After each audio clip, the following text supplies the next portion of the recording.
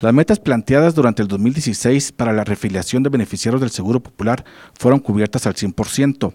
El objetivo es tener un padrón de beneficiarios confiables y que no haya duplicidad en la prestación de los servicios médicos. Los servicios que se prestan van desde la consulta médica, tratamiento en algunos tipos de cáncer y el surtido de medicamentos. 260 mil reafiliaciones y bueno, los ahora en vez de 830 mil, ahora son 760 mil afiliaciones.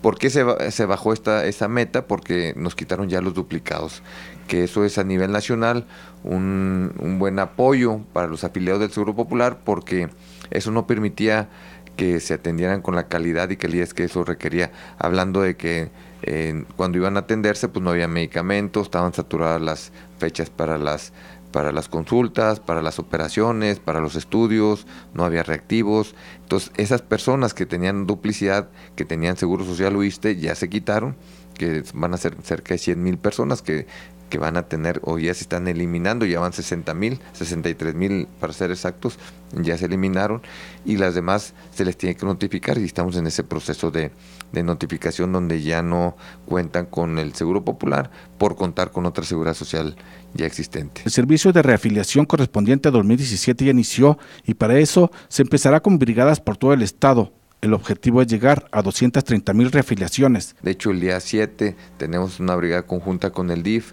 este, y otras dependencias en Sierra Mojada.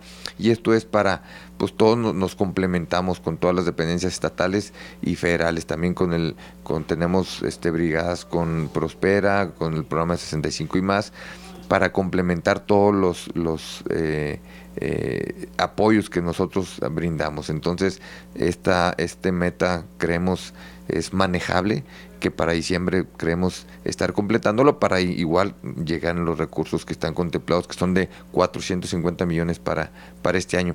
Con imágenes de Carlos Hinojosa, para RCG informó Carlos Hernández.